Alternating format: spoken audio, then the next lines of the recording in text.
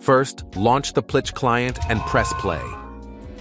Once you're in-game, hit the Prepare button in the Plitch companion app to activate the cheats.